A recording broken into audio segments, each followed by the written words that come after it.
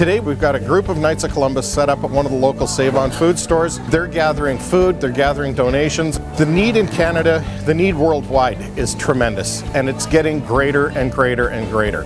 For those of us that have plenty, we need to help those that don't.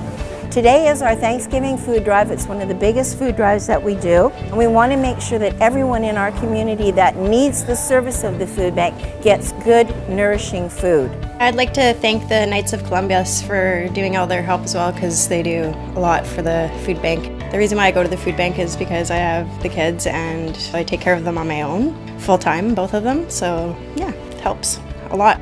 It's so rewarding to see a child come in and get a little pack that we put together for them and walk out with a big smile on their face. Or a senior who hasn't been able to get to the store or doesn't have the money to buy some eggs and milk. These are basics that people need. And it's so rewarding when we can actually give that to them.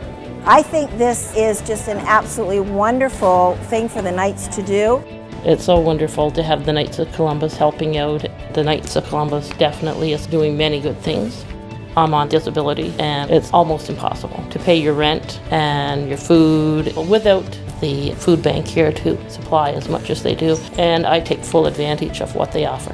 Helping the food bank is helping the most basic of needs, feeding the hungry. That was one of the commands that Christ taught us was feed my people. And so by being Knights of Columbus, by being able to help the food bank, help to put food on empty tables, we are, as Christ said, feeding the hungry.